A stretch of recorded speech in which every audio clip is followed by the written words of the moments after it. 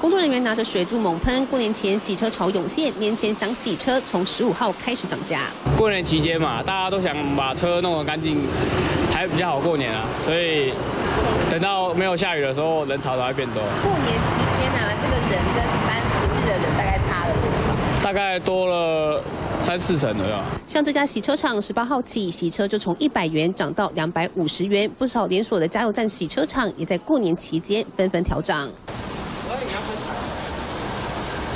包含中油在过年期间洗车优惠停用，调涨二十到五十元；山农加油站洗车调涨二十到五十元；台雅加油站洗车全面调涨二十到四十元；全国加油站调涨洗车收费二十到三十元；各大加油站平均调涨二十到五十元。春节春节这个事情大家能够接受了，嗯，对了，呃，反正春节嘛，OK 的，应该的啦，对啊，那过年没有没有休假还上班就很辛苦了，还是要。给他一点点的那个小确幸。十五号起到加油站洗车将陆续变贵，今年也拉长了涨价时间，约十三到十六天。业者说，因为人力成本增加跟营运春节期间，所以变贵，想洗车得多掏钱。三月新闻胡克强李慧台报道。